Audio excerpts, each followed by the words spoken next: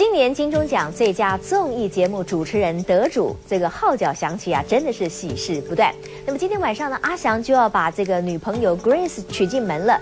喜宴上呢，阿翔要装扮成白马王子，而且规定这个宾客呢一定要穿上粉红色的衣服。许多演艺圈的大哥，包括了胡瓜、徐乃麟跟曾国成，都要到场来捧，希望呢他们能够有一个浪漫梦幻的童话婚礼。阿翔一身白马王子装扮，开心迎娶交往三年的模特儿女友 Grace。为了配合准老婆小公主，体贴的阿翔将婚礼呈现浪漫梦幻的童话风格，连伴郎林道远、钱君正也扮成童话人物，不改号角响起的耍宝样。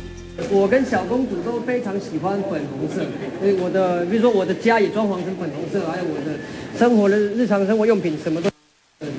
号角响起，爱情事业两得意。但阿翔在耗子结婚后四个月，突然宣布闪电结婚。对于先有后婚的传言，也赶紧撇清。没有啊，要跳一下吗？老公工作很辛苦，然后一直很照顾我，所以嫁给他是全天下。最幸福也是最勇敢的人。